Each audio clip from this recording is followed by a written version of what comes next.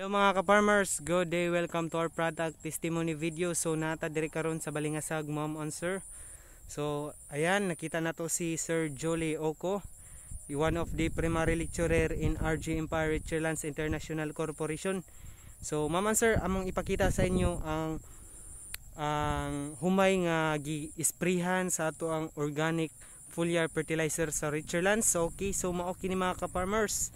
Kung makita ninyo, grabe siya ka uh, green kayo ang yang dahon and then nindot kayo ang yang pagbunga no? Katungod kay uh, buso kayo ang yang mga uhay o timgas kaayo. So makita ninyo nga halos gyud tanan no? Oh uniform gyud ang yang pagpamunga mga ka Richlands no? So inani kanindot ang atong organic foliar fertilizer mga mama sir. Okay so usa kini ka uh, testimony diri sa balinga sa uh, Misamis Oriental no? Isa kini siya ka uh, buhi nga testimony nga atong nakita diri sa Balingasag.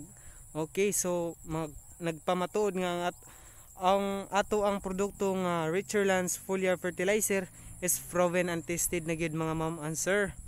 Okay, so sa tanan mga farmers no nga gusto nga ang ilang humay nga makita nga mamunga nga healthy og nindot ang bunga sa pagbunga sa ilang humay. So ayaw na mo paglangay-langay sa pagtry or sa paggamit sa ato ang organic foliar fertilizer sa richer lands no? So mga ka-farmers amo lang yung ikapasalig sa inyo nga pag once mo gamit mo sa atong organic foliar fertilizer dili gid mo magmahay tungod kay proven and tested na gyud ni ang ato ang organic foliar fertilizer diri sa richer lands no?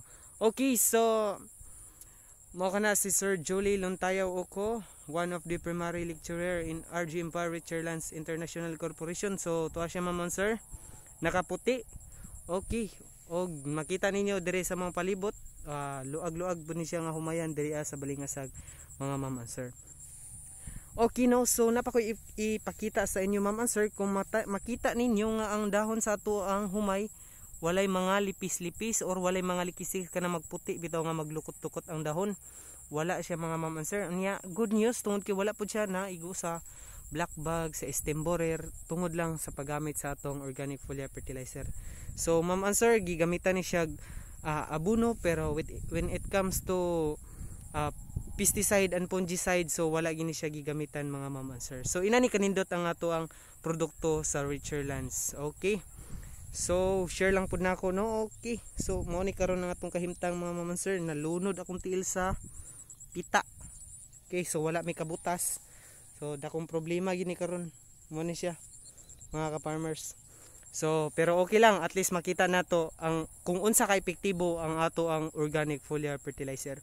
So, daghan kayong salamat sa inyong pagtan-aw ug sa pagpaminaw ni ining maong ato ang uh, actual footage o video diri sa Balingasag mga mama sir. Daghan kayong salamat ug sa katong gusto na mo try sa atong organic foliar fertilizer. Try na mo, ayaw na mo paglangay-langay aron inyo na po kamo na po ang makapamatuod kung unsa ka epektibo ang ato ang produkto Okay, dagan king salamat mga ma'am and sir. That's all for today. And God bless us all. Bye-bye.